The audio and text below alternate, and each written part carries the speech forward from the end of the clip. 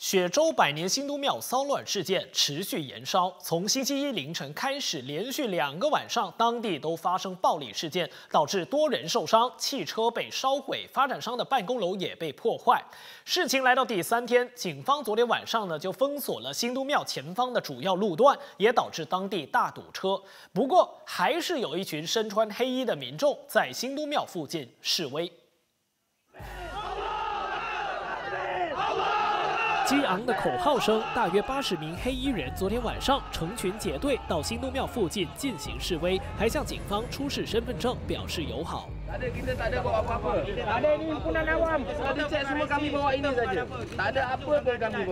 才刚封路就迎来了这一群示威者警方当然马上阻止他们继续往前进但是示威者却告诉警方他们不是来闹事的只是来向其他人示范什么叫和平示威也警告其他人不要践踏马来人的地位。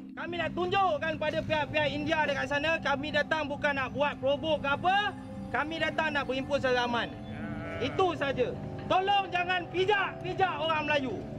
Jangan ketepikan bangsa Melayu. Kami. 这些示威者在警方的驱赶之下，最后还是散去了。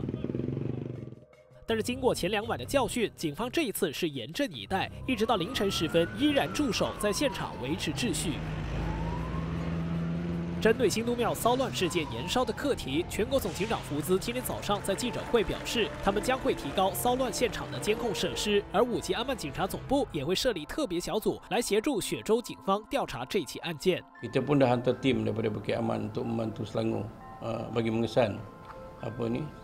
mereka mereka mereka yang terlibat termasuk yang menyerang apa ni. 随着这支特别小组成立，福兹也表示，接下来将会有更多人被逮捕，以协助调查，让这起案件尽早落幕。